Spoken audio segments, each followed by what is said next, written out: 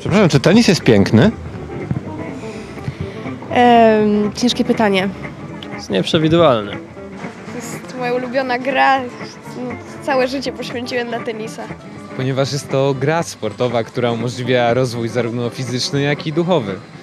Grając w tenisa możemy kształcić swoją psychikę, ale kształcić również swoje ciało, więc po prostu tenis jest piękny. Dostarcza dużo emocji, można spędzić miło czas. Na przykład ci, co już grają dłużej, trochę tak 4-5 lat, yy, tak jak ja, no to już zrozumiał, że coś w tym jest po prostu.